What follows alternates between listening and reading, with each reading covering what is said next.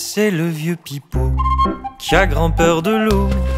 Il a un bateau grand comme un sabot. C'est beau, a fait sa misère avec un mouchoir à la mer Germaine.